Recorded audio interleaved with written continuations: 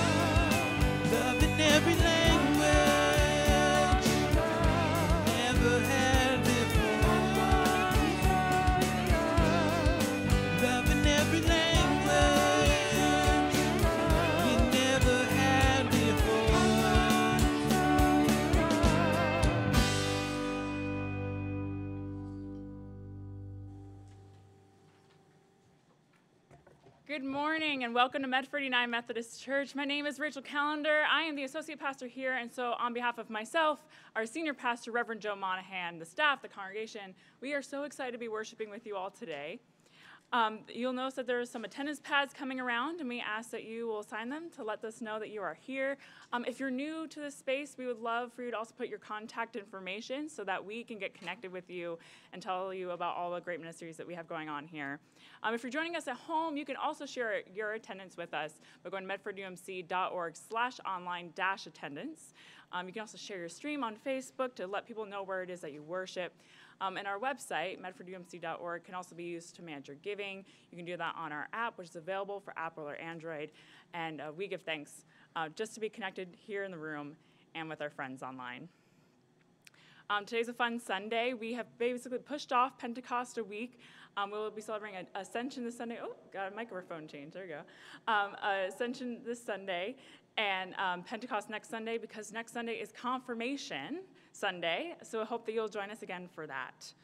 Um, with all this in mind, I would like to trans, uh, transition into a time of prayer. So, as the opening prayer comes up on the screen, this is a prayer written by Nancy C. Townley of Ministry Matters. And I hope that you'll join me in reciting this prayer. God of incredible surprises, as we gaze into the clouds, remind us that we are standing on holy ground. Place our feet on the pathways of hope, peace and hope. Draw our attention from the vision of the Lord rising to the heavens to be with you, and help us to focus on the ministries that you would have us do. Keep us ready and willing always to serve you all our days. Amen. Good morning, everyone. Welcome to our time of worship. It's wonderful to worship with you together. Please stand with us as you're able. We're going to sing together.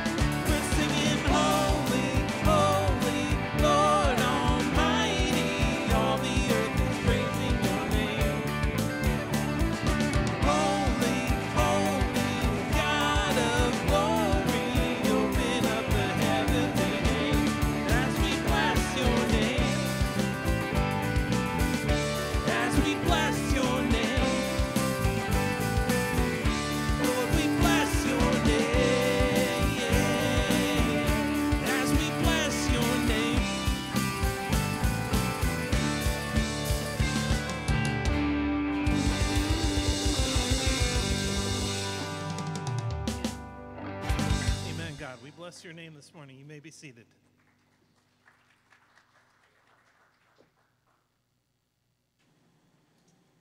Good Morning. Good morning, everyone. I'd like to invite any kids that are in the congregation to come on up. Friends that are at home, please come closer to the TV. I've got balloons. Who wants to come play with a balloon? Anybody? Anybody? Avery, I knew you'd come and help me.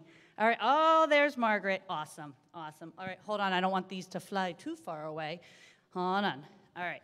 Give me a minute, everyone.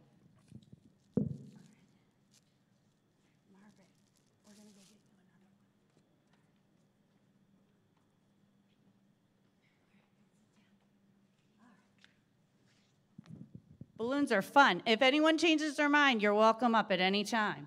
All right, and even if you don't come up, the balloons are up for grabs at the end of the service, so you can come get one and uh, try what, I, what we're going to do today during our children's time. Yeah, so Margaret, you've got the right idea. So can you grab a balloon and hold it all the way down? Hold it all the way down. Yeah, yeah. All right, so we're going to hold this balloon down, right? So what happens if we let it go? It'll fly away. Now it's not a word tied, it's tied, right? Do you know what's inside the balloon that causes it to float up? It is, it's like a it's a gas, right? Do you know what that gas is called? Wow, kiss that smart brain of yours. That's right. Can you say helium? Helium, right. So it helps the balloon. If we just used our own air and blew into it, it would just stay on the ground. So the helium helps us helps it float up, okay? So we're going to use the balloon because this is a Sunday that we're celebrating a story in the Bible called Ascension Sunday. Can you say ascension? Ascension is a fancy word for floating up. It's just gonna float up, right? So I'm gonna tell you a story that started at Easter time. We've been talking a lot about Easter, right? It started at Easter time. And at Easter, Jesus did that special thing, right? Where he died on the cross for us. And then what happened? He came back alive, right, Margaret? Good job. So he came back to life. And guess what? He stayed and hung out with his friends, the disciples, for a while. So they were super happy. They're like, oh, good. He's going to hang out with us now forever. But guess what? There was, oh, Jesus was trying to prepare him, prepare his disciple friends to say, listen, I do have to go back to heaven and be with God. So there's going to come a time where that I'm going to return to my Father in heaven. And guess what's going to come after that? The Holy Spirit. And you three have been coming to Kids Church. We've talked about the Holy Spirit, right? With the flames and the wind. We're going to talk about that next Sunday. But right now, he's still with his, his friends and he's saying, I have to go back to heaven, but the Holy Spirit is going to come soon, okay? Hold that down. And guess what he did? At, so at first, if you're told that somebody that you really like is going to go away, what how do you feel? Yeah, it, you might feel sad or disappointed like I really like that person. I don't want them to go away from me. Right. And right. Oh, no, right. It's sad to think of that, right? And we don't want that. And that's how the disciples, at first, that's how they felt. And have you ever had a balloon that had helium in it and you went outside? What happens if you let it go? All the way up. Have you ever watched it go far, far, far, far? Oh, oh, it's gone. Have you ever done that? Yeah. You're you're very careful with your balloon. Yeah, you've never let it go. Good for you.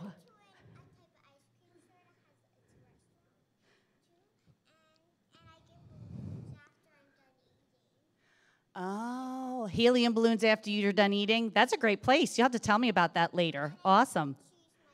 And you get to choose the color of the balloon. I know you only get two choices today but but that sounds like a cool place to eat. So what the rest of the story goes like this. So the disciples just like you when you said when someone goes away they were sad. The disciples were sad that jesus would be leaving them. But then the bible tells us that jesus opened their minds. He explained to them so that they could understand that by him going away more amazing things more new things will happen. The bible tells us that jesus lifted his hands. He blessed all of his friends, the disciples. And when he was blessing them, he started to lift up, up away, right? Everyone let, let your balloon go. That didn't go very far, right? But we're going to kind of pretend like we're the disciples and be like, ready? Went way, way further, all the way up. Look how far. And I think when we look at this balloon all the way up high to the heavens, I feel like in my imagination, I can see the disciples standing there and watching as Jesus ascended higher and higher until he disappeared from view. And guess what? This time the disciples weren't sad. They were joyful because Jesus shared with them that they were to go and tell the world about God's love. And by this change, by Jesus going, they had that special work to do. And it was a new chapter, a new time of excitement for them. So when we when you take your balloon and you take it home and it might float up to the ceiling, you can think about the joy the disciples had. And when changes happen for you, think of them joyfully and think of all the special things you can do with that change. What do you think? All right. That sounds good. You've got plans for your balloon. That's awesome. And I left them long so that you could do that. All right, so let's pray. All right, let's pray so that we can hear more about this from Pastor Rachel. Dear God, thank you for sending Jesus, your only son, to die for our sins. We know that he has risen from the dead and has returned to heaven. Bless us today as we worship him with great joy. In Jesus' name we pray. Amen. All right, friends, can you bring those back over there? And at the end of the worship service, you can take one home with you, okay? I also want to let know all kids that are in the congregation, there are coloring things and different fun things that are in the back corner that you're welcome to at any time during worship, okay? Thank you. You guys can go back and play at Kids Corner, okay?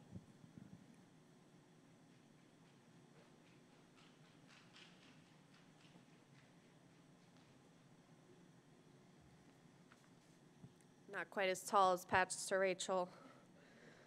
Uh, good morning. Today's scripture reading comes from Acts 1, verses 1 to 11. Theophilus, the first scroll I wrote concerned everything Jesus did and taught from the beginning, right up to the day when he was taken up into heaven.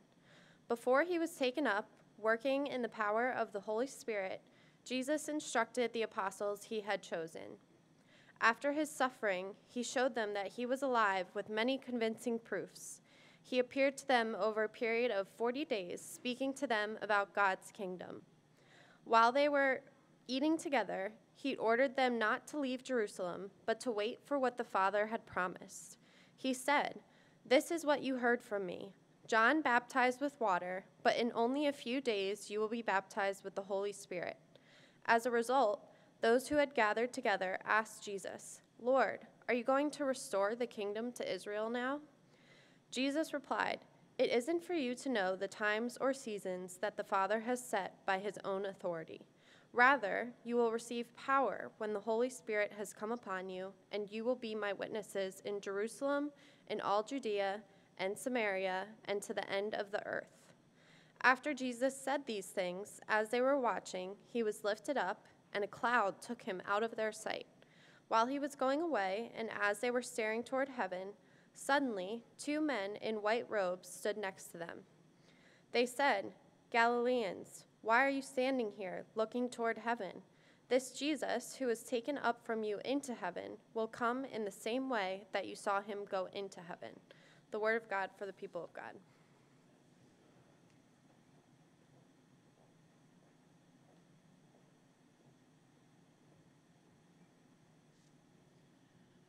Would you pray with me? Come, Holy Spirit, come. Wash over us so that we may shine with the brightness of you that lives inside of each and every one of us. May the words of my mouth and the meditations of all of our hearts be pleasing to you, God, now and forever. Amen. There's nothing like a service or ordination to give you the sensation of being bathed in the Holy Spirit. And even though this year's service of commissioning and ordination here in the Greater New Jersey Annual Conference was a virtual one, Many of you who watched online remarked about how palpable the Spirit felt. Even through a webinar on your laptop, the Spirit was still alive. And this service is probably one of the most sacred services that we have in the Methodist Church. And I can tell you from being a part of one and also having watched many of these ordination services that there is nothing in the world that can convince me more of the energy of the Holy Spirit than an ordination service.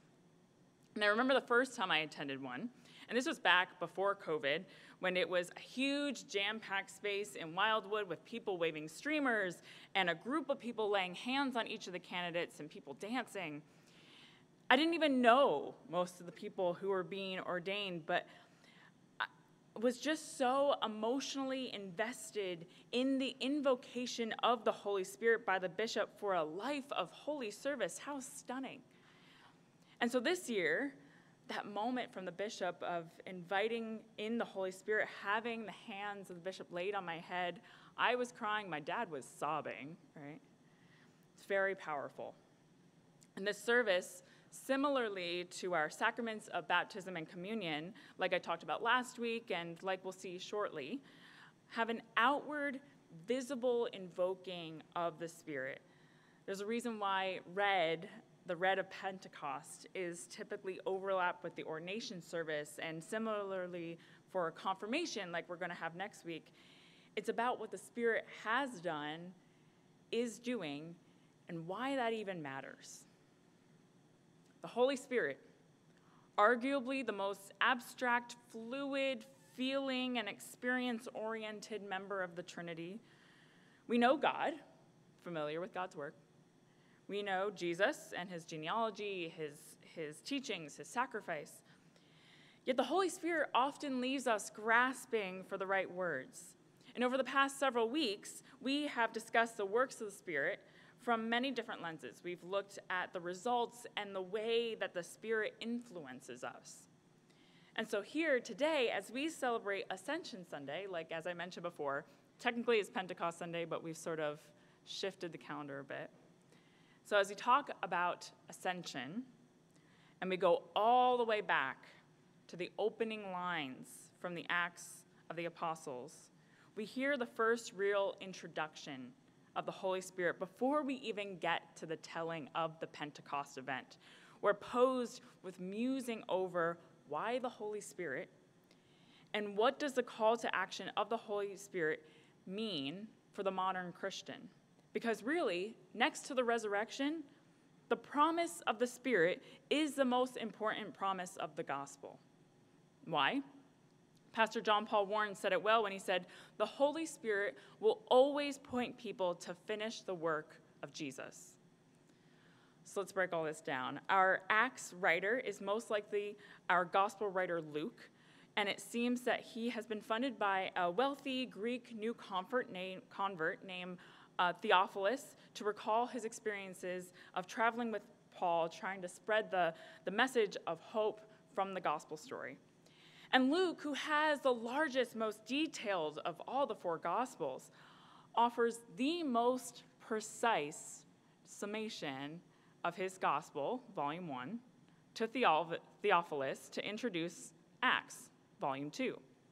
He writes Theophilus, the first scroll meaning the book of Luke, I wrote concerned everything Jesus did and taught from the beginning right up to the day that he was taken up to heaven.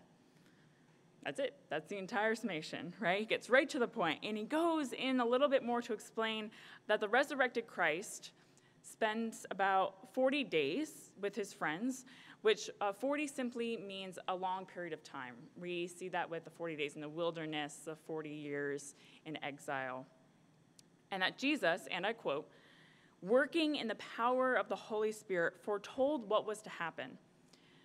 Jesus then connects this Pentecost event that they don't know about yet, they have no idea what he's talking about, of the people being bathed in the Holy Spirit, it being inescapable, to the baths, the waters of baptism. It's really gorgeous imagery. And I think of that feeling during the ordination service where it's clear that it's not just me feeling the Holy Spirit, but the entire room. And you can't help but breathe it in and let that Holy Spirit fill your lungs. It's just so, it's like thick in the room.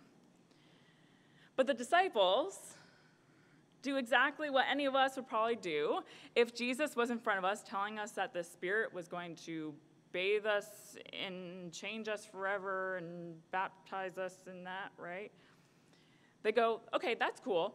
So um, there's a lot of war and disease and stuff. When are you going to take care of that? Is that going to happen now? Right? Totally bypassed what Jesus has told them.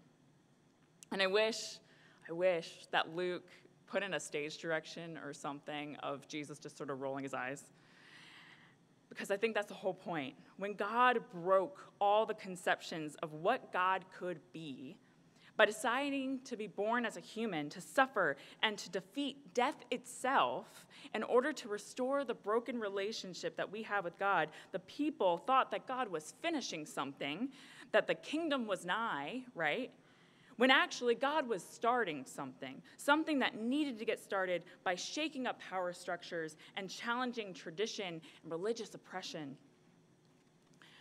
The resurrection is that message of hope that God is bigger than the sting of death, yet Christ ascending, no longer tangibly being there to break bread and to shake people's hands, tells us that by sending in the Spirit, it says, You want a kingdom?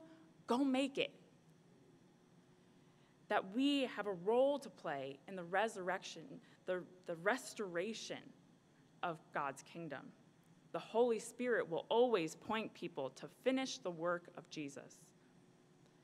God sending down the Holy Spirit to work within us is the most important part of the whole thing, besides for the resurrection, because it's how the kingdom comes to earth. That transition into a new way of pursuing God's mission in the world transitioned into this new, expressive, gut feeling kind of work 2,000 years ago, and that's still how it works today.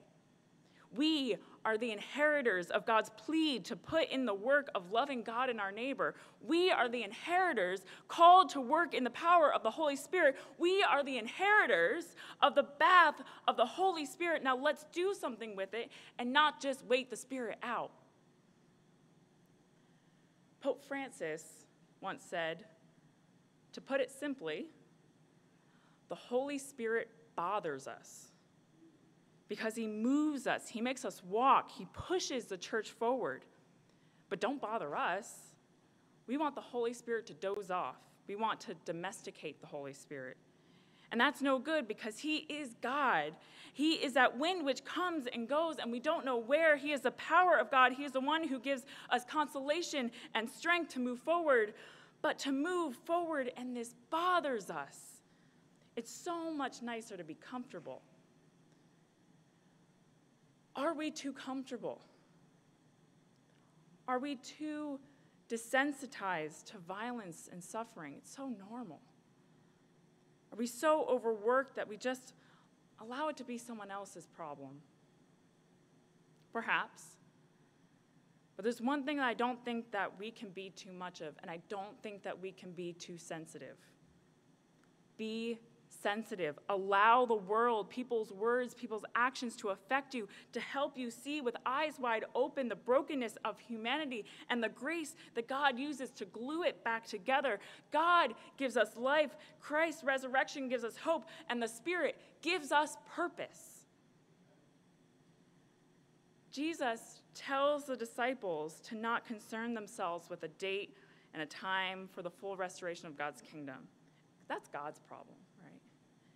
Imagine the mess that would ensue if we actually knew a specific day that we were working up to. Everyone would be so horrible to each other. You know, it's like, eh, we only have a week left. I don't need to help them, right? But rather, he tells them that the Spirit is going to inspire them to share hope and love across many lands. And with that, Jesus ascends into heaven. And they were staring up at him when two men in white robes asked, why are you staring up at heaven? Jesus is still going to be there if you blink or you look away. Jesus knows how to get back, right? Trust the heavens covered and instead look forward. Close your eyes and remember those momentary glimpses of God's true kingdom that you have experienced. It could be a moment of real sacrificial love and honesty, a moment of uninhibited vulnerability, a moment of absolute untainted joy, where the concept of time itself just seems to lose all meaning. Remember those moments and look forward. Call upon the Holy Spirit to bring that to life today. So, as we celebrate the holy sacrament of communion in just a few minutes, and I know many of you have heard the words of this ritual so many times, but I really want you to breathe in the Spirit, to, and to visualize the Holy Spirit coming down into this meal, into the sharing of the body and blood of Christ as a community in deep relationship with each other, where we care about each other. And I want you to let that affect us today. Let us come to God in prayer. Holiest of gods, change us, affect us, work through us so that God's kingdom can be found here on earth. Use us to share the hope the Gospels offer us and chip away at our desire to wait your call out. We long to be an instrument of peace this day and every day. In the name of Jesus Christ, we pray. Amen.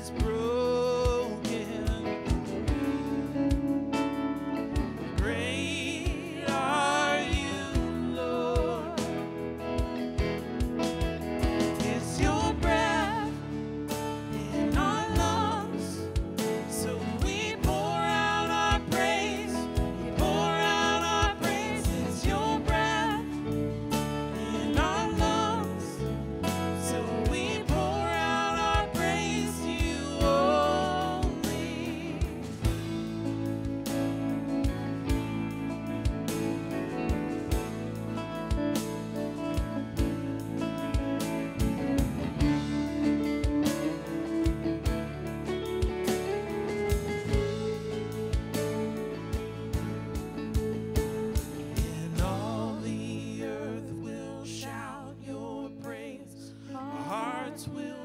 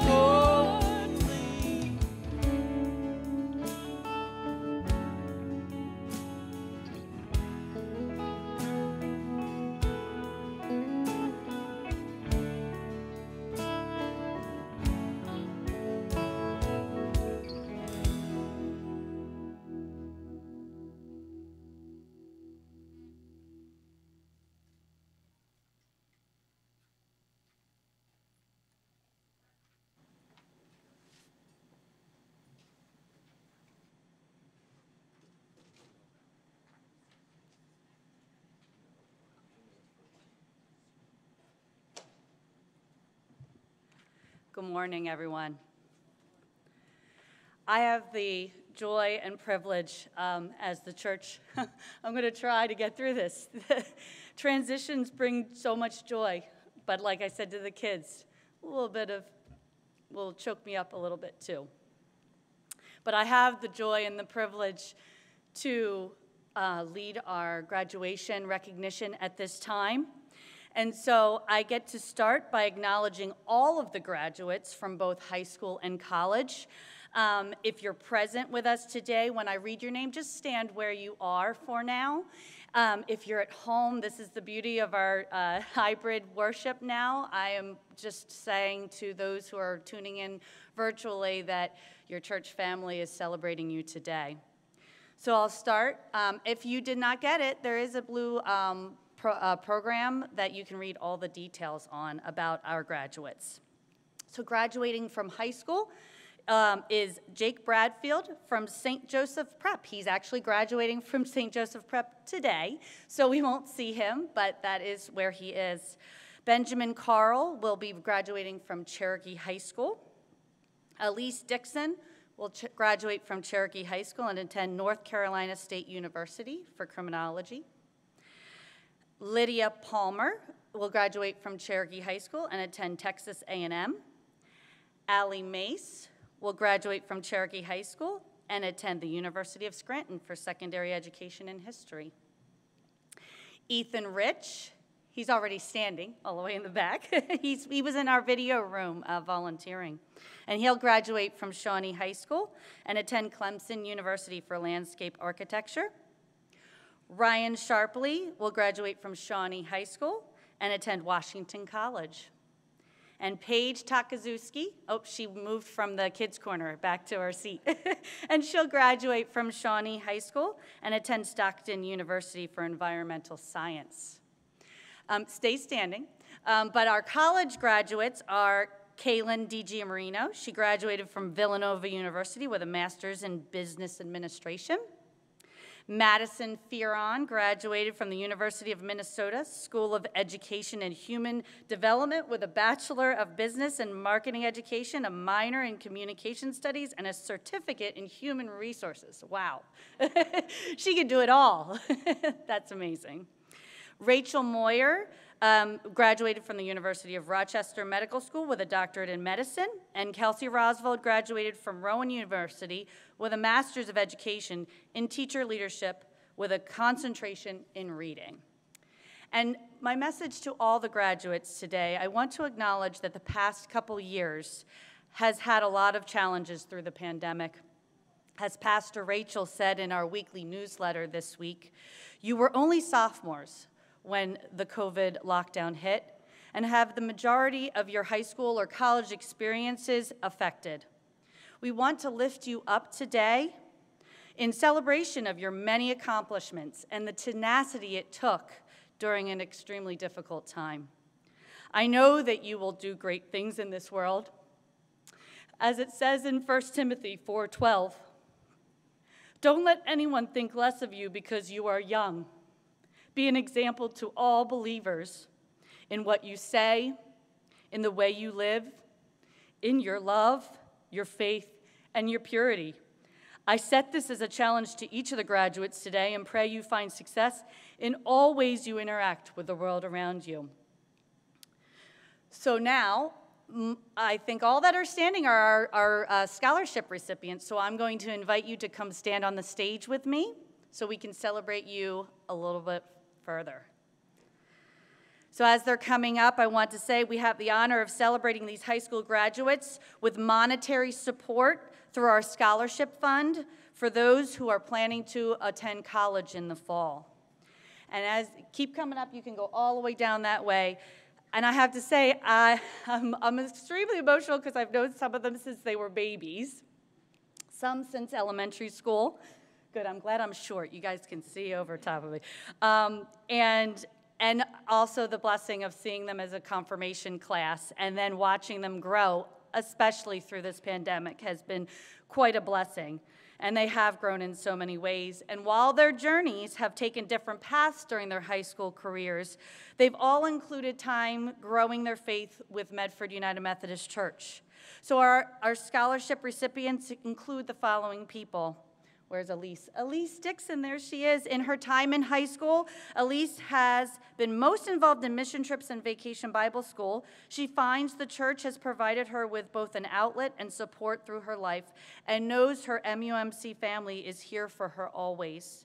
Through all her um, opportunities to serve, whether it's in her community or here within the church, they have been ways to use her hands in service to connect with many otherwise she would not have been involved with. Knowing her passion for working with and helping others, I find I feel confident Elise will continue to add God's goodness into the world. Allie Mace. In her time in high school, Allie has been involved in youth choir, been a junior choir helper, attended youth groups and mission trips, assisted with Sunday school, VBS, and more. And while the pandemic has affected these activities and her ability to participate, she has found ways to connect with God through her times with devotionals. I know that Allie feels connected to God and her church family, and that will go with her into the world and will guide her. Ethan Rich, where's Ethan? There you are. Ethan, in his time in high school, Ethan has stayed active playing in the handbell choirs during our 11 o'clock worship and volunteering his time in the tech team. As I said, he just came down from the tech room um, and it's so valued. Ethan shared that this work has given him skills to think on his feet and grow in his confidence, and this confidence has helped him to participate in other things outside of the church walls, community projects, and helping people.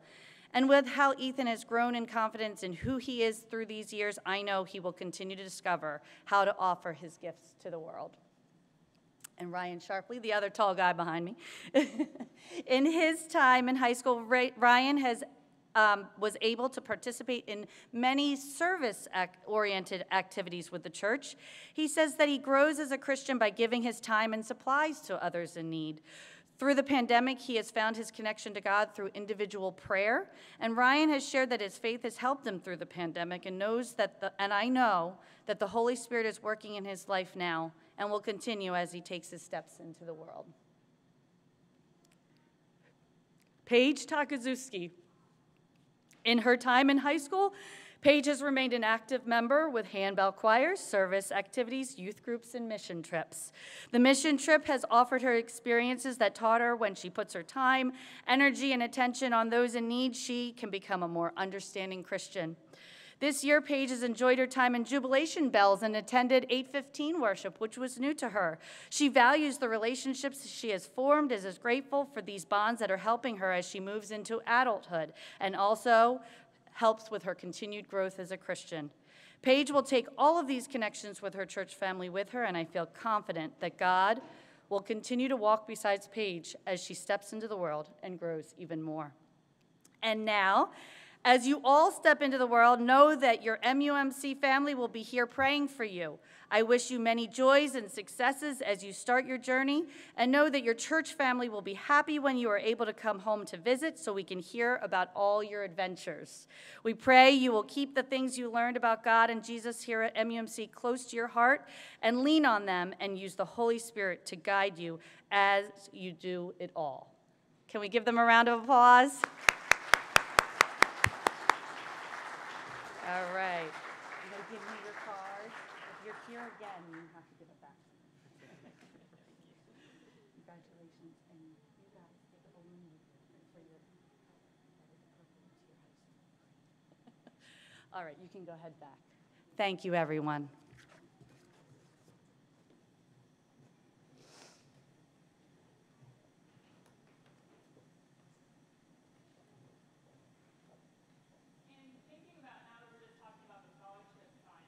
Um, I encourage you, the scholarship fund is something that we take uh, much pride in, that we can, uh, we can support. Uh, young people in this transition in their life, we all know that the price of higher education keeps getting higher and higher. Um, and so I want to encourage you, as you prayerfully consider giving to the church, um, that maybe one of the ministries you might consider gifting to be the scholarship fund. It's on the drop down menu in the app or you can always put it in the memo line and, um, when you donate a check to the church. But I hope that you'll prayerfully consider that sort of giving. We'll now transition um, into our time of Holy Communion. I want to remind you that The Lord's table is open to everyone. You do not need to be a member of this church nor any other to partake. We do have gluten free options. So, if, and I'll be the one with the gluten free uh, basket. So, if you need gluten free, just give me like a little hand up and I will make sure that, that gets to you. We'll still be using the one, um, the one, uh, the one piece cups, is what I was trying to say. And for those of us, you who are joining us at home, I invite you to grab a bit of bread or maybe some crackers, some water, and some juice so that you can join us in this time of Holy Communion. The Lord be with you. Lift up your hearts. Let us give thanks to the Lord our God. It is right and a good and joyful thing always and everywhere to give thanks to you, Almighty God, creator of heaven and earth. In the beginning, your spirit moved over the face of the waters. You formed us in your image and breathed into us the breath of life. When we turned away and our love failed, your love remained steadfast. Your spirit came upon prophets and teachers, anointing them to speak your word. And because you are good, we offer to you this morning our joys, our celebrations, our thanksgivings. And so I invite you here in the room, if you have any prayers of joy to share with us this morning, that you share them aloud. And if you're joining us online, please share these prayers of joy in the chat. Does anyone have prayers of joy?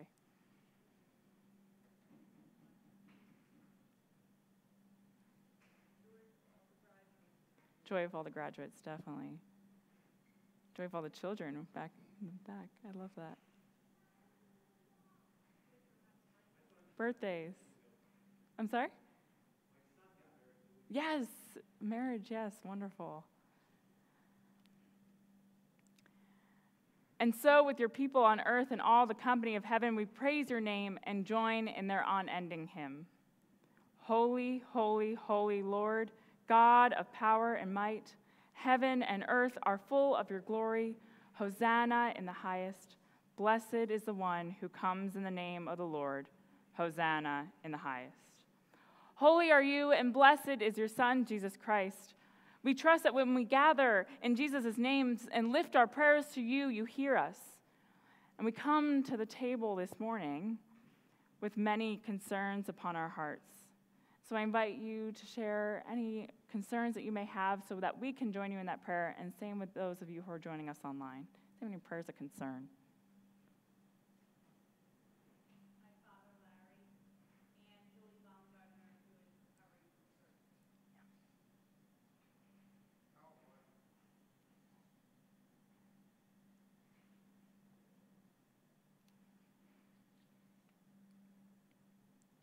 At his baptism in the Jordan, your spirit descended upon him and declared him your beloved son.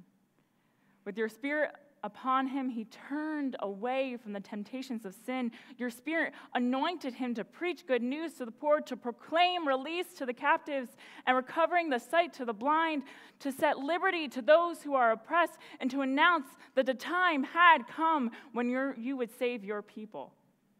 He healed the sick fed the hungry, and ate with sinners. By the baptism of his suffering, death, and resurrection, you gave birth to your church, delivered us from slavery to sin and death, and made with us a new covenant by water and the Spirit. When the Lord Jesus ascended, he promised to be with you, us always, baptizing us in the Holy Spirit and with the fire as on the day of Pentecost. On the night in which he gave himself up for us, he took bread, gave thanks to you, broke the bread, gave it to his disciples, and said, Take, eat. This is my body, which is given for you. Do this in remembrance of me. When the supper was over, he took the cup, gave thanks to you, gave it to his disciples, and said, Drink from this, all of you. This is my blood of the new covenant, poured out for you and for many for the forgiveness of sins. Do this as often as you drink it in remembrance of me. And on the day you raised him from the dead, he, recognized by, he was recognized by his disciples in the breaking of bread. And in the power of your Holy Spirit, your church has continued in the breaking of the bread and the sharing of the cup. And so, in remembrance of these, your mighty acts in Jesus Christ, we offer ourselves in praise and thanksgiving as a holy and living sacrifice in union with Christ's offering for us as we proclaim the mystery of faith. Christ has died, Christ is risen, Christ will come again. If you're joining us at home, I invite you to put your hands over the elements that you have in front of you. Pour out your Holy Spirit on us gathered here and on these gifts of bread and cup. Make them be for us the body and blood of Christ, that we may be for the world the body of Christ, redeemed by his blood and empowered by the gifts of the Spirit. By your Spirit, make us one with Christ, one with each other, and one in ministry to all the world, showing forth the fruit of the Spirit until Christ comes in final victory and we feast at his heavenly banquet through your Son, Jesus Christ, with the Holy Spirit in your holy church. All honor and glory is yours, Almighty God, now and forever. Amen. And now, with the confidence of the children of God, let us pray the prayer that Jesus taught us to pray Our Father, who art in heaven, hallowed be thy name. Thy kingdom come, thy will be done, on earth as it is in heaven. Give us this day our daily bread and forgive us our trespasses as we forgive those who trespass against us. And lead us not to temptation, but deliver us from evil. For thine is the kingdom, and the power, and the glory forever. Amen. Because there is one loaf, we who are many are one body, for we all partake from one loaf. The bread which we break is a sharing of the body of Christ. And the cup over which we give thanks the, is a sharing of the blood of Christ. I'll invite the servers to now come forward.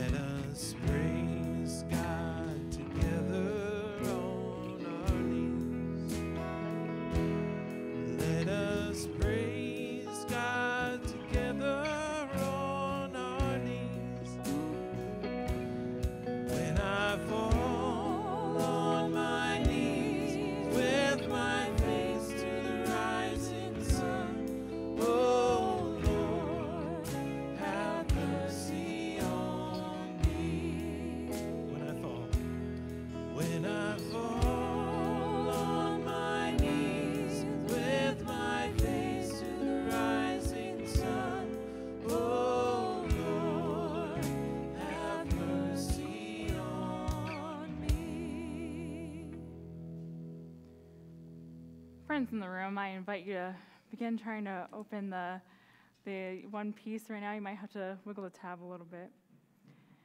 First, let us receive the wafer. And those who are joining us at home, you can join us by saying these words to one another The body of Christ broken for you.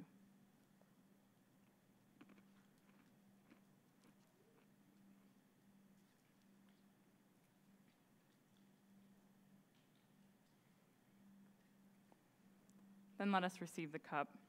Those at home, share with these words the blood of Christ shed for you.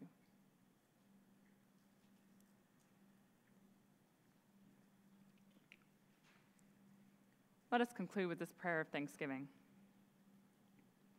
Eternal God, we give you thanks for this holy mystery in which you have given yourself to us. Grant that we may go into the world in the strength of your Spirit to give ourselves to others. In the name of Jesus Christ our Lord, amen.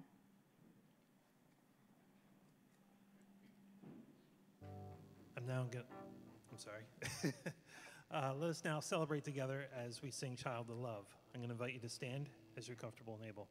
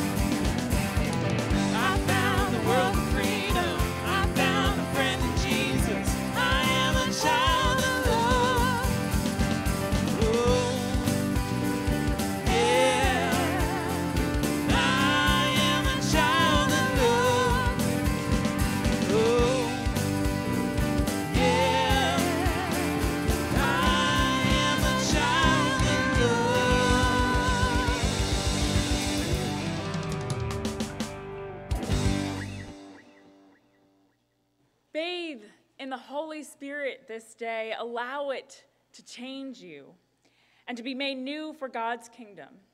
Go in peace and go with God. Amen.